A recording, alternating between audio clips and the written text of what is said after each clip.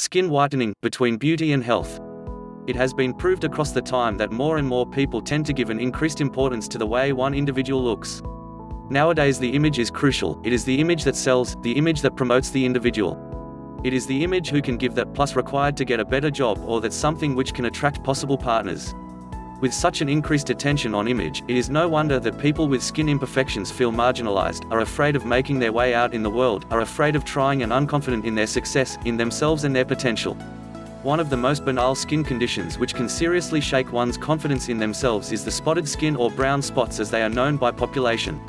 These brown spots have more causes of appearance, starting with excessive exposure to sun, rashes, wounds or damages and ending with hormonal imbalances or other internal problems. Because their highly anesthetic aspect most people try to get rid of these brown spots by exfoliating the skin or using skin whitening creams.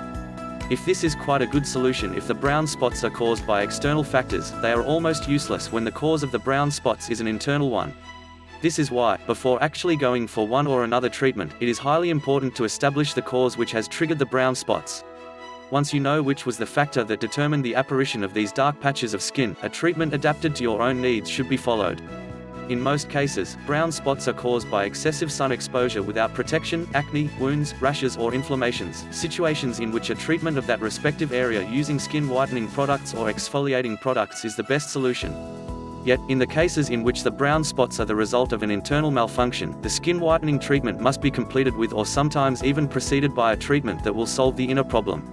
Only this way will the brown spots disappear and the skin will regain its uniform color.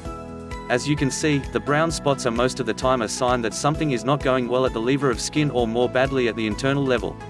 This is why, it is necessary to consider them not only a stringent problem from the point of view of beauty, but also a sign of alarm for your health. If you like this video and you want more of this type, subscribe below and click the notification bell icon for notification, please, thanks.